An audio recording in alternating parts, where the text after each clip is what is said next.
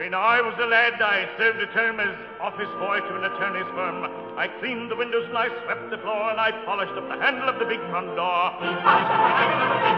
I polished up the handle so carefully that now I am the ruler of the Queen's Navy.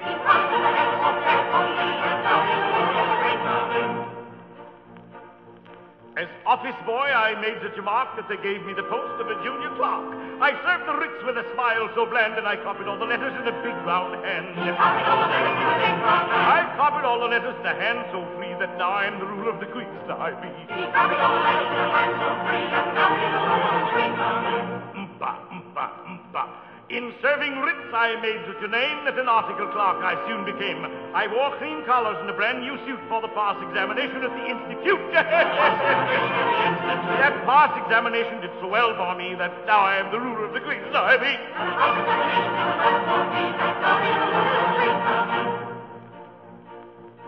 Of legal knowledge, I acquired such a grip that they took me into the partnership. And that junior partnership, I ween, was the only ship that I ever had seen.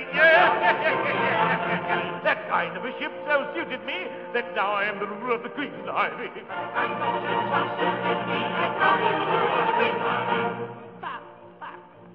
I grew so rich that I was sent by a pocket borough into Parliament. I always voted at my party's call, and I never thought of thinking for myself at all.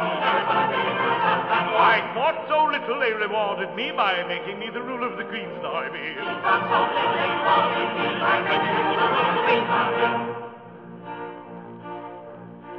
Now, landsmen all, whoever you may be, if you want to rise to the top of the tree, if your soul isn't fettered to an office stool, be careful to be guided by this golden rule.